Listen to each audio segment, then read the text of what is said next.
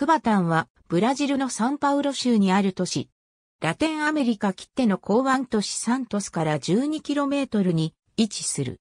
人口11万3599人、総面積142平方キロ、人口密度799.99人、平方キロ。石油生成施設、製鉄所、化学肥料など24の工場が立地する。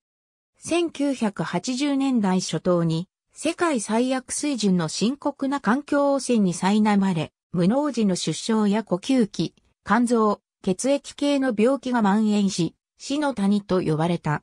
高濃度の空気汚染は一帯の森林を枯らすほどであった。貧困層があぶれ、ポピュラーサイエンス誌の世界で最も汚い都市トップ10にもランクインした。1984年2月25日、漏れた石油がビラ底の貧民街で引火し、公式発表によると93人が死亡した。1992年の地球サミットで、グリーンピースは、従業員の POPS 汚染の当事者たる、ローディア社を世界最悪の企業犯罪トップ10に入れた。市内における汚染対策には、これまでに12億ドルが費やされた。